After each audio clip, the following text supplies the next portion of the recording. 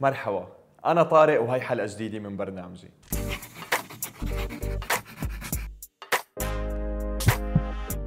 بكل حلقة رح أعرفكم أكثر على نجمة من نجمات الغناء العربية ورح نشوف أفضل خمس أغاني قدمتها هالمطربة ضمن توب فايف على ذوقي حلقتنا اليوم رح تكون عن النجم اللبناني نجوى كرم. إنما قبل ما أبدأ ضروري أطلب منكم تشتركوا بقناة إنما على اليوتيوب من خلال الضغط على زر سبسكرايب نجوى كرم أولى كرم. من مواليد مدينة زحلي بالبقاع اللبناني ب 26 شباط فبراير 1966 وهي عاشت طفولتها بزحلي وتعلمت فيها. وكان عندها أخت وحدة وثلاث أخوة وهي الأصغر بين أخوتها. بعد حصولها على شهادة البكالوريا فرع الفلسفي اشتغلت نجوى كرم معلمة لسنتين بمدرسة بزحلي. وكانت تتعلم أكثر من مادة ومن بينها الجغرافيا. عرفت نجوى كرم بين أهلها وأصدقائها بجمال صوتها وقوتها لهيك لما انطلق برنامج الهواة ليالي لبنان على تلفزيون لبنان بال 1985 اقترحت عليها خالتها أنه تتقدم للبرنامج وتجرب حظها. وبالفعل هذا اللي صار. وراحت نجوى كرم على بيروت من دون علم ابوها وشاركت بالبرنامج عن فئة اللون الفلكلوري اللبناني. وحصلت على الميدالية الذهبية.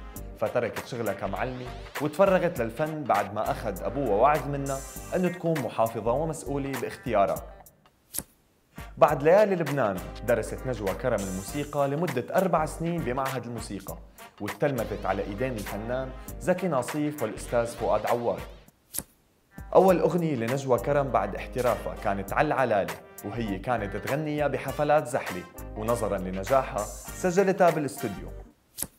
أطلقت نجوى كرم بال 1989 أول ألبوم إلها بعنوان يا حبايب. إنما الخطوة الأولى إلها نحو النجومية كانت مع الألبوم الثاني شمس الغنية يلي صار كمان لقبها بتقول نجوى كرم إنه المطرب اللبناني الراحل سمير يزبك كان له فضل كبير بمسيرتها الفنية وهو نصحها تحافظ على صحتها بالدرجة الأولى ومن بعدها تحافظ على فنها. بسنة 2000 فاجأت نجوى كرم جمهورها بخبر زواجها من متعهد الحفلات اللبناني يوسف حرب.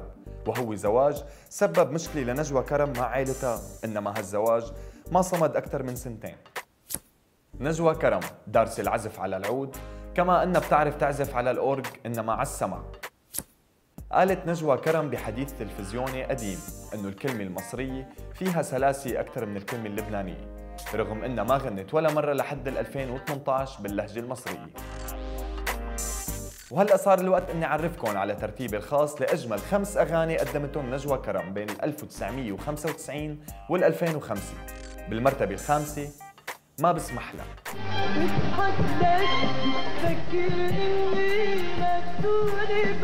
بالمرتبة الرابعة حظي حلو.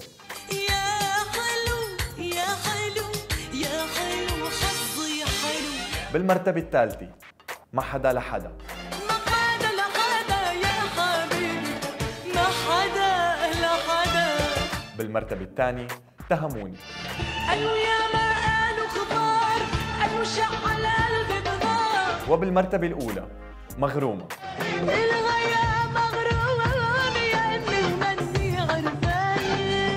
وبنهاية هالحلقة ما تنسوا تشتركوا بقناة إنما على يوتيوب من خلال الضغط على زر subscribe. ويا ريت إنكم تعملوا share لهالفيديو على كل مواقع التواصل الاجتماعي. بشوفكم.